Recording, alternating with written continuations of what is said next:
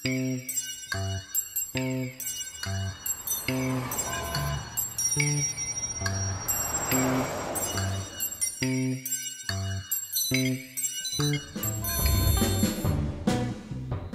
е ангел. На 20 и няколко години. Той няма проблеми. Той няма и работа. На него работа не му и трябва. Подсигурен е от самото си раждане. Има наследствен апартамент, в който живее. Има и стабилни месечни доходи от друг апартамент, който дава под найем. Ангел е роден под щастлива звезда. Е, нека си го кажем. Той е купонджия. А и кой не би бил на негово място? Но всъщност не е претенциозен. Не пилее по скъпи барове, казина или елитни мацки. Обича да пие бира в парка с приятелите си.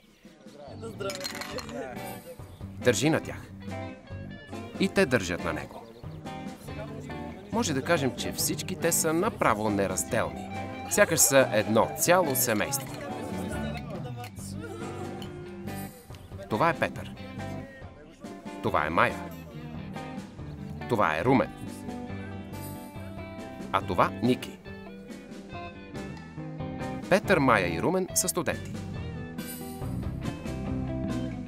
Ники работи в травал агенция.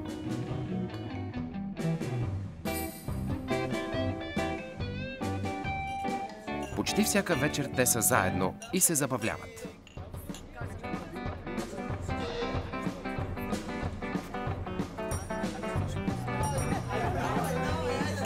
Обикновено у Ангел.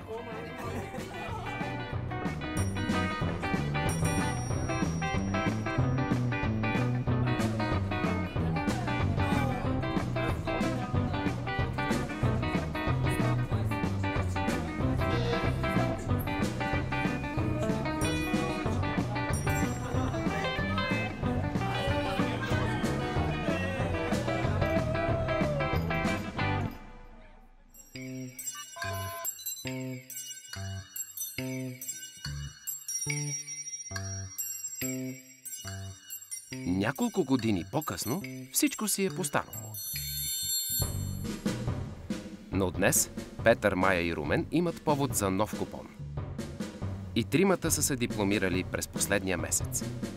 Те искат да почерпят.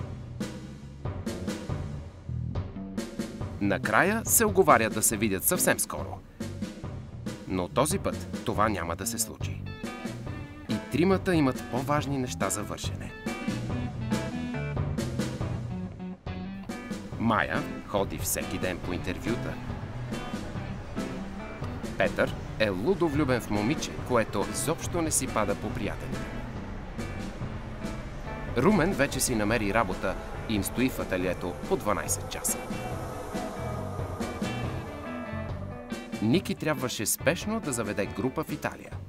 Имаше избор да си остане тук. Но Италия... Кой пък би отказал Южна Италия?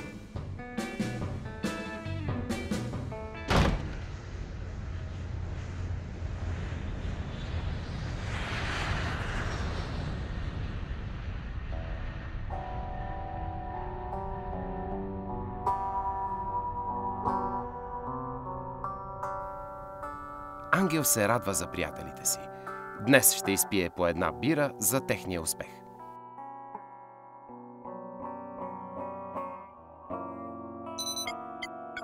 Минали са още пет години. Нашите приятели са си обещали, че никога, никога няма да престанат да бъдат заедно и да са си верни. Днес Ангел смята да ги събере. Той има повод. Продал е второто жилище на много изгодна цена.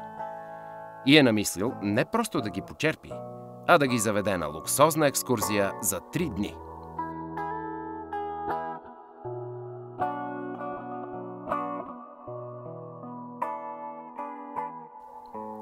Първо звъни на Румен, но Румен не отговаря. След около половин час той му пуска СМС. Извинявай, с колегите сме на тимбилдинг. Аз го водя. Ще се чуем утре.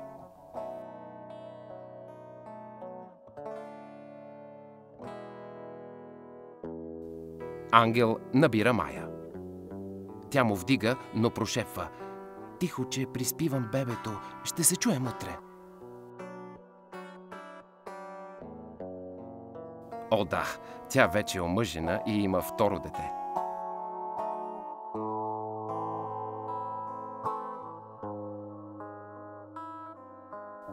Той звъни на Ники. Дава свободно. Тя не е омъжена.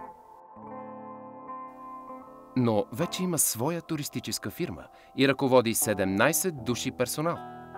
Често работи по 18 часа на ден и когато се добере до леглото, просто изключва телефона си. Ще разбере за повикването от ангел чак утре.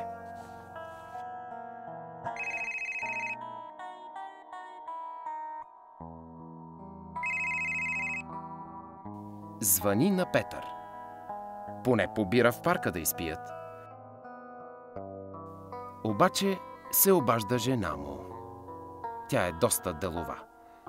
Пепи в момента не може да говори. Потърси го утре. Утре. Ще се чуем утре. Потърси го утре. Утре. Утре. Утре. Утре. Минали са 20 години, откакто петимата са толкова близки. А сякаш беше вчера. Защото днес е вчерашното утре. Не са се събирали през последните 10 месеца. И това изглежда ще е тенденцията от тук нататък.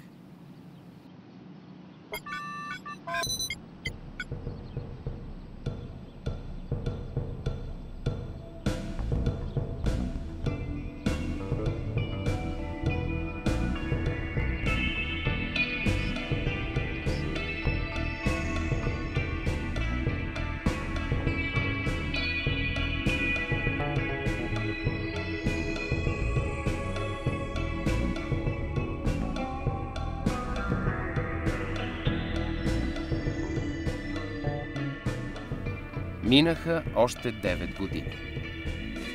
От 3 години не са се виждали. Всеки знае, че може да разчита на другите четирима, но сякаш не се е налагало. С едно малко изключение. Ангел е разчитал на тях да се виждат заедно по-често. Защото те продължават да са неговото семейство. А той за тях?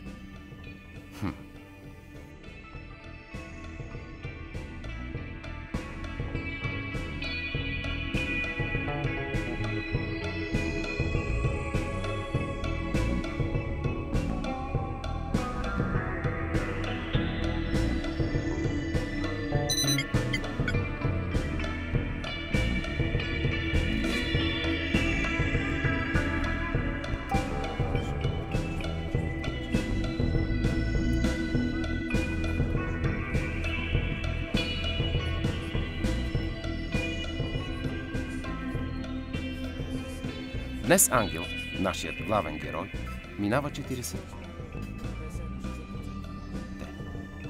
В душата си той продължава да е онова безгрижно хлапе. Изглежда, че наистина е роден под щастлива звезда. И до ден днешен на него не му се е налагало да работи.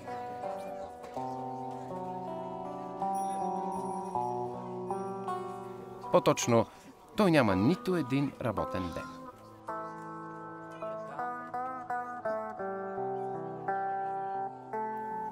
Но ето, днес, в края на един августовски ден, когато родният му град е опустял, той разбира, че трябва да се хване на работа. Каква работа? Да си намери нови приятели, ново семейство –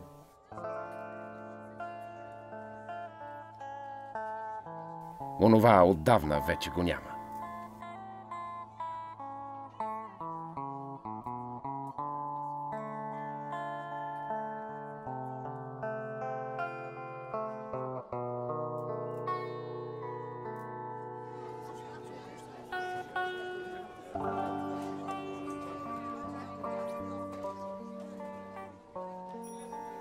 С вас беше Мартин Герасков, актьор от дублажа. И сега си тръгвам от работа. Läkanosta.